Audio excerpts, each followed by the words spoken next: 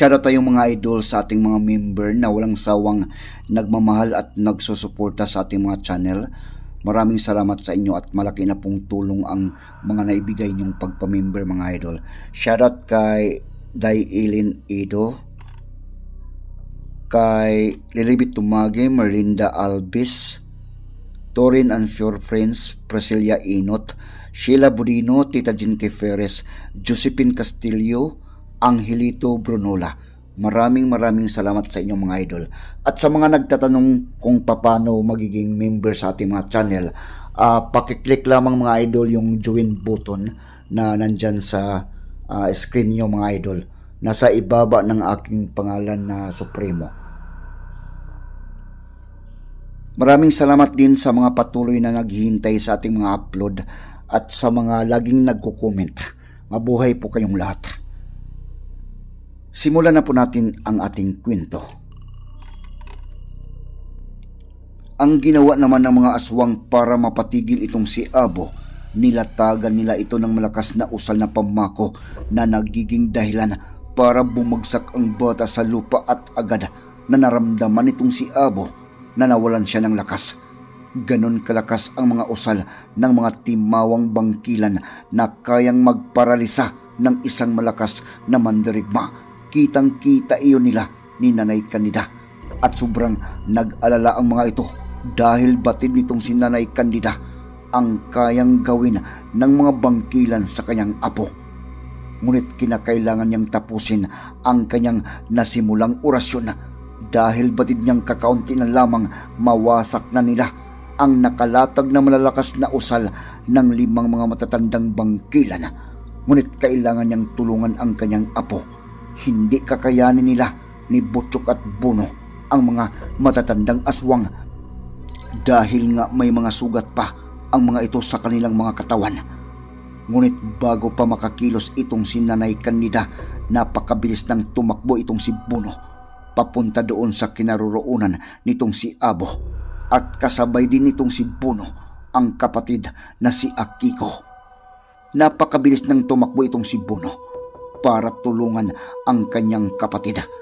Bago naman makapagsalita itong sinanay kanida, wika nitong si Butchok na nakahawak na sa kanyang mga matatalas na mga paarko. Tapusin mo na ang mga usal lula kanida. Huwag mo kaming alalahanin. Kami na ang bahala sa mga ito. Kaya namin ang mga ito. Ang mahalaga, mawasak ang kanilang mga inilatag na mga usal ng pampahina Kitang-kita ngayon itong si Nanay Kanida sa mga mata nitong si Butchok ang kakaibang bagsik at galit. Batid nitong si Nanay Kanida na wala nang makakapigil sa kanyang apo. Kakaibang presensya na din ang nararamdaman nitong si Nanay Candida sa pagkatao nitong si Butchok. Bago pa sumagot itong si Nanay Candida, biglang umarangkada na ng takbo itong si Butchok papunta doon sa mga matatandang aswang. Bago naman tuluyan na maabot itong si Abo ng mga matatandang aswang na bangkilan, biglang ibinagsak nitong si Akiko ang kanyang hawak na librita sa lupa sabay ng pagbabanggit ng mga banyagang salita. Kakaiba na din ang presensyang nanggagaling sa katawan nitong si Akiko na parang napapalibutan ng nagliliwanag na bagay Biglang nanigas ang katawan ng mga aswang at agad na nagliliwanag ang librita ni Akiko na nasa lupa at mayroong naglalabasan ng mga espiritu galing dito na kulay usok at agad na hinawakan ang mga matatandang bangkilan na parang pilit na hinihila ang mga ito papasok doon sa librita ng bata. Nang makita naman nila ito ni Buno at Butchok, walang inaksayang sandali na ang mga ito at tumulong na din sa kanilang kapatid. Inatake nila ang mga aswang. Sa mga pagkakataon na iyon, nakabawi na din ng wisyo itong si Abo at bumalik na ang lakas ng batang paslit. Kaya mabilis na din na dinaluhong nito ang mga aswang doon sa harapan. Nagpakawala na din ng malakas na pangkitil na usal itong si Butchok na nagawang mapasabog ang kinaroroonan ng mga matatandang aswang na bangkilan. Ngunit nakagawa naman ng malakas na kalasag ang mga matatandang bangkilan na nagawang masalag ang ginawa ni Butchok. Tatlo lamang sa kanila ang tinamaan sa mga pangkitil na inilatag ng binatilyong sundalo at kakaunting pinsala lamang ang nagawa ni Butchok sa mga katawan ng mga ito. Kakaibang kalasag, meron ang mga ito na parang nagkaroon ang mga ito ng napakatigas na mga balat. Magagawa ito ng mga bangkilan kapag pinagsama-sama ang kanilang mga lakas at karunungan. Ngunit ang masama nga lamang, isang bisis lamang nila magagamit ito sa tuwing mayroong makakarap ang mga ito na mga malalakas na mga nilalang. Dahil sa sumunod na mga pagkakataon na gamitin nila ito ng sunod-sunod, manghihina na ang kanilang mga karunungan at maaring iyon pa ang dahilan para matalo. Kailangan din nilang gawin ang kalasag na iyon dahil nabatid nilang kakaiba ang lakas na ginawa nitong si Butchok na maaring makapaminsala sa kanila ng sobra at kailangan din nilang makabawi sa ginawa ni Akiko sa kanila at mapigilan ang mga usok na nakahawak sa kanilang mga katawan. Nagawa naman ng mga bangkilan na babasag ang karunungan nitong si Akiko at mawasak ang mga anino ng bata at kasabay din na naharangan ng kanilang mga kalasag ang ginawang pagpapasabog nitong si Butchok sa kanila. Maagap naman sina Buno at Abo na lumusot sa mga nabibiyak na lupa at nagsitalsikan ng mga maliliit na bato, sanhi ng malakas na pag-atake at pagpapasabog ni Butchok. Nabati din kasi ng dalawang mga bata na hindi gaanong nakapagbigay ng pinsala doon sa mga aswang ang ginawa ng kanilang kuya Butchok kaya mabilis na kumilos ang dalawa para gulatin ang mga aswang habang hindi pa nakabawi ng wisyo ang mga ito. Nasipat agad ng dalawang mga bata ang tatlong mga bangkilan na hindi napuruhan nitong si Butchok. Ngunit tinamaan ang mga ito ng kakaunti sa kanilang mga katawan. Sa tingin ng dalawang mga bata, kaya na nilang mapabagsak ang mga ito dahil sa kanilang mga pinsala.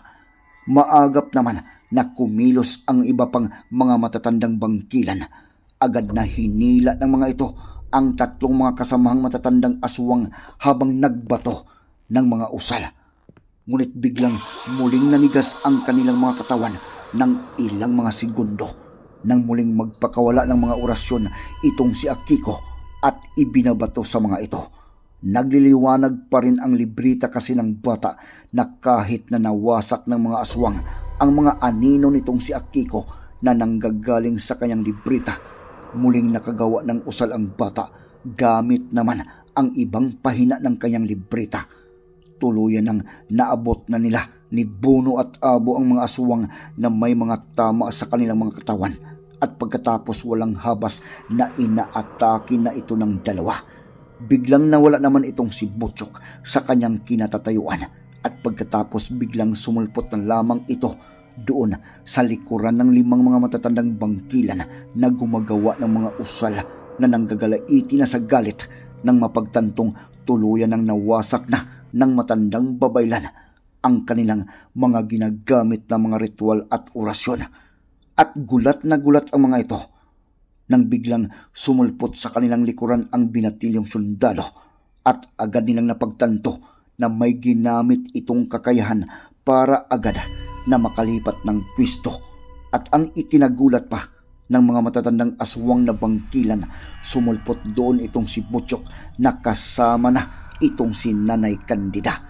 Wala nang inaksayang oras ang dalawa bago pa makagawa na naman ng malalakas na mga usal ang mga matatandang bangkilan agad nang kumilos na sina Butchok at itong si Nanay Candida habang gumagawa ng malakas na usal na pamako at tigalbo itong sinanay kanida. Mabilis naman na sinabayan ito ni Butchok ng pag-atake.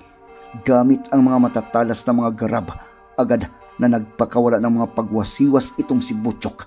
Sa pinagsamang pag-atake ng dalawa, agad na napuruhan ng mga ito ang dalawang mga matatandang bangkilan. Kapwa-wakwak ang kanilang mga liig at sa tindi ng tama kamuntikan pangang kumalas ang mga ulo ng mga ito galing sa kanilang mga katawan. Sobrang nawindang ang isipan ng mga matatandang bangkilan sa kanilang nasaksihan. Hindi makapaniwala ang mga ito sa lakas at bagsik na ginawa ng dalawang kalaban sa kanila na sa loob lamang ng ilang mga segundo. Napatay agad ang dalawa nilang kasama. Kaya mabilis na gumanti ng mga pag-atake ang mga aswang na bangkilan bukod sa kanilang mga ginagawang mga usal agad na nagpakawala ng mga pagkalmot ang mga ito ng mabilisan kay Butchok at Nanay Candida. Sa mga pagkakataon na ito, nakikita na nitong si Nanay Candida ang kanilang pagkapanalo sa labanan. Mas humahanga ngayon itong si Nanay Candida sa kanyang mga apo lalo na ang dalawang mga paslit na ibinuhos ang kanilang lakas sa pakikipaglaban sa mga bangkilan. Kahit na tinamaan ang mga ito ng mga usal ng mga aswang na bangkilan, hindi na ito ganun kalakas dahil sa nanghihina na din ang kanilang kalakasan at puwersa. Kaya mabilis lamang na nawasak ang mga ito ng batang si Akiko. At sa mga pagkakataon na ito, muling pinalabas na ng batang paslit ang mga nilalang na kulay usok galing sa kanyang mga libreta para muling atakihin ang mga matatandang bangkilan. Ang pinuno ng mga aswang nagsisigaw na ito at nagwawala dahil naramdaman na nito ang panghihina ng kanilang pwersa na hindi niya inaasahan at inaakala na mangyayari. Sa lakas kasi ng kanilang pangkat at wala pang nakakatalo sa kanila. Ngayon pa lamang kasi na may nakakaharap ang mga ito nakakaiba din ang kalakasan ng antas at determinasyon na lumaban. Ngayon din ang unang bisis na may mga nakakalaban ang mga ito na mga batang paslit na nakakawindang ang kakaibang kalakasan. Tulad nitong si Akiko na kaya ng batang paslit na makipagsabayan sa kanila sa aspitong mga usal. Napatigil naman sa pag-atake ang mga aswang nang biglang mayroong isang mabagsik na nilalang ang dumaluhong sa kanila. Hindi na nila mawari kung saan ito nanggagaling, ngunit nakakatiyak ang mga ito. Nakahalin tulad nila ang postura at uri ng isang iyon. Napakabangis na umataki ito sa kanila habang umaangil. Tanging nasambit na lamang itong sinanay kanida. Akiko, ginamit mo na ang natatangi mong kakayahan. Nang makita kasi nitong si Akiko na nanghihina na ang pwersa ng mga aswang na bangkilan. Naisip nitong kaya na nilang tapusin ang mga ito, kaya ginaya na ng bata ang lakas at postura ng mga aswang na bangkilan. Napatitig din itong si Butchok na unang nasaksihan ang ganon na kalakasan ng kanyang nakakabatang kapatid. Halos hindi makapaniwala itong si Butchok dahil napakabangis kasi ng kakayahan na iyon nitong si Akiko na kahit sina Buno at siya ay walang ganon na kakayahan sa ganong edad. Ngunit itong si Buno, napapangiti na lamang ang bata dahil makailang bisis na siyang nakasaksi sa kakayahan na ito ni Akiko. Kaya nga, tiwala at panatag ang loob nitong si Buno na kaya nila ang mga aswang na bangkilan dahil sa kasamang dalawang mga paslit.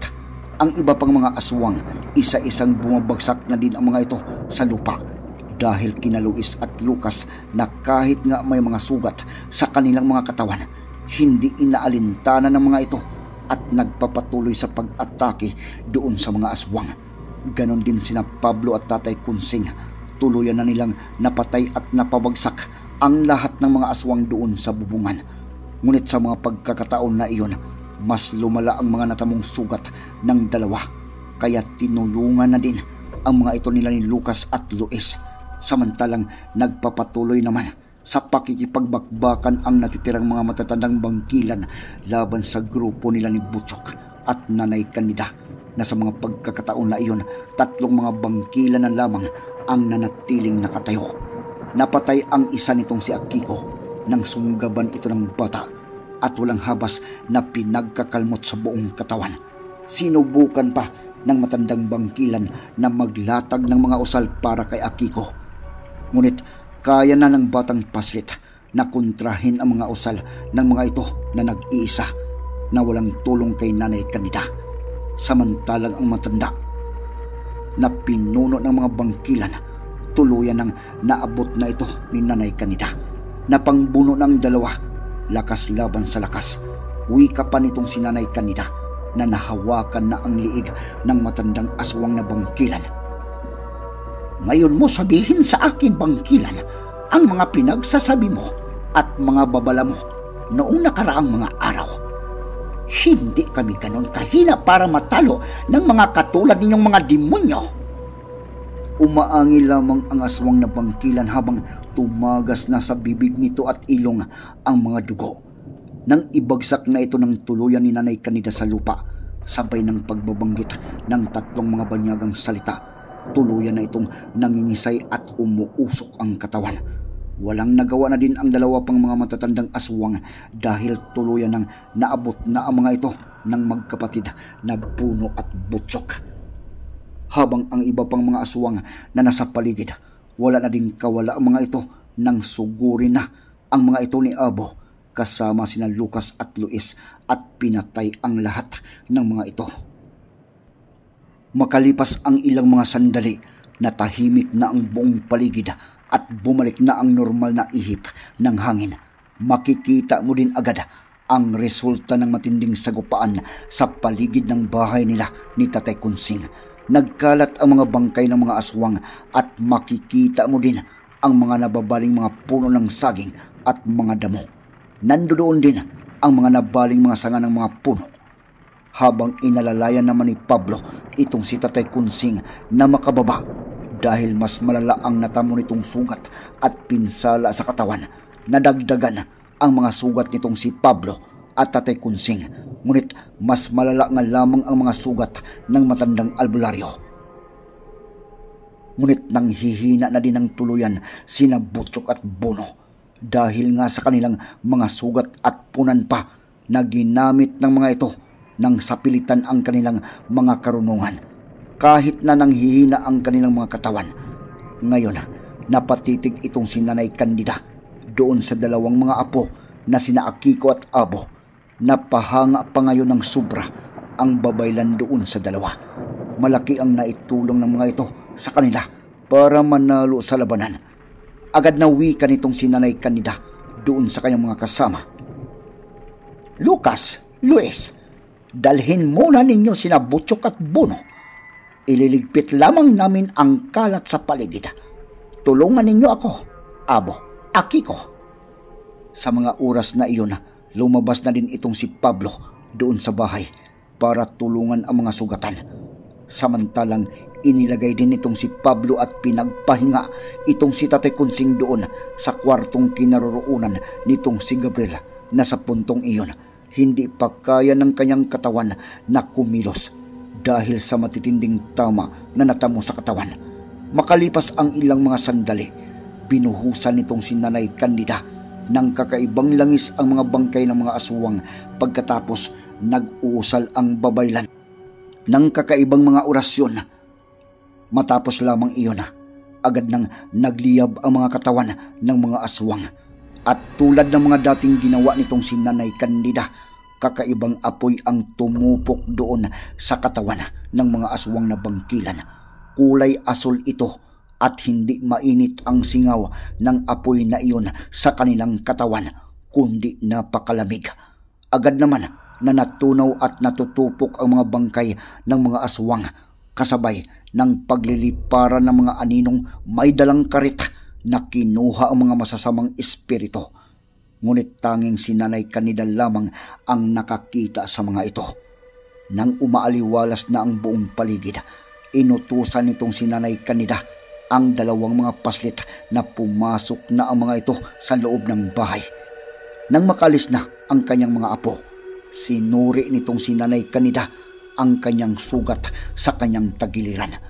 Hindi na niya pinahalata sa kanyang mga kasamahan na nasugatan din siya ng mga aswang.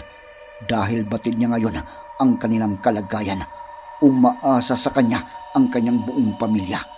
Bukod sa sugatan ang karamihan sa mga ito, batid niyang buhay pa at gumagala ng malaya ang dalawang mga alas ng grupong talim. Maaring naghihintay din lamang ang mga ito ng magandang pagkakataon para makaatake sa kanila. Ngayon, batid na ng mga kalaban ang kanilang kinaroroonan. Kaya nakapagpasya itong si Nanay Kanida na bukas na bukas din kailangan nilang makalipat agad ng lugar at magamot din muna ang lahat ng mga sugatan. Sa tingin niya, bago sila muling makipaglaban, siguraduhin muna nilang magaling na ang lahat ng kanilang mga natamong sugat. Hindi kasi biro ang lakas ng kanilang mga kalaban, lalo na ang nakalaban ni Butchok na si General Berto.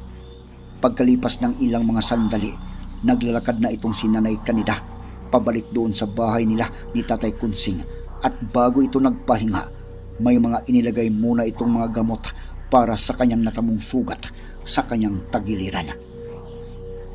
Kinabukasan, pagkagising ng mga ito, gulat na gulat si Rosa nang makita nila ang paligid ng bahay nila ni Tatay Kunsing. Nangauka kasi ang lupa sa paligid at nababali ang mga puno ng saging. Pagkatapos din ng kanilang agahan, agad na pinulong itong si Nanay Kanida ang lahat ng kanyang mga kasamahan at inihayag ng babaylan ang kanyang mga plano. Nais din itong si Nanay Kanida na isama na itong si Tatay Kunsing at ang kanyang pamilya sa kanilang paglisan baka balikan pa ang mga ito ng mga aswang na bangkilan. Inaabisuhan na din nila ni Tatay Kunsing at Nanay Kanida ang pinsan ng matandang albularyo na nakatira doon sa unahan na wag na munang bumalik ang mga ito hanggang hindi nila sinasabi. Ayaw kasi nilang madamay ang mga ito sa bakbakan. Lumapit naman itong si Butchok kay Nanay Kanida at wika ng binatilyong sundalo doon sa matandang babaylan. Lula Kanida, kung ano man ang iyong plano, sasang-ayon kami. Ngunit tulad ng aking sinabi, kung muling mag-cross man ang aming landas ni General Berto, papatayin ko na ang isang iyon.